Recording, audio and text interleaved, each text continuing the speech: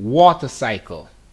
Describe the water cycle include evaporation, condensation, transpiration, respiration, and filtration. The water cycle is a diagrammatic representation of a movement of water in the Earth's atmosphere. The water cycle is driven by the energy from the sun.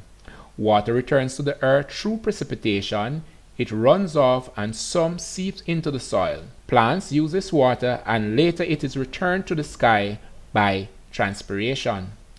Animals drink the water and return it to the atmosphere by respiration.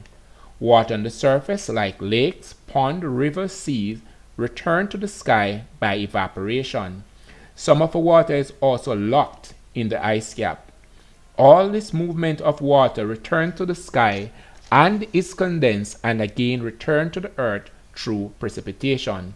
Follow the arrows to see the movement of water through the water cycle. Condensation, precipitation, water forms run off in your river and lakes.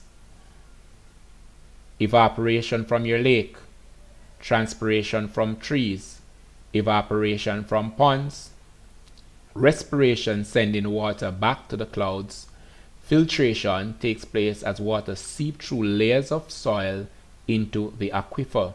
Water runs off into the sea and is later evaporated to the clouds and again condensation takes place then it gains energy and again return to the earth as precipitation. Please view the water cycle explained on my channel for more information, remember to like, share, subscribe, and when you do, remember to hit that notification bell.